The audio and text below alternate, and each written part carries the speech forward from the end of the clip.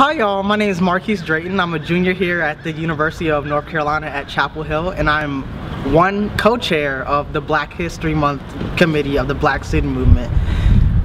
Originating since 1967, we're actually celebrating 50 years this year, which has gone a mighty long way since the first black students came to UNC. And you know, it's February, so it's also Black History Month as we have an array of events from the Black History Month dinner with Carolina Dining Services and Chase Dining Hall to the Black and Blue Tour with UNC Visitor Center. If you want the full list, go to uncbsm.com slash BHM.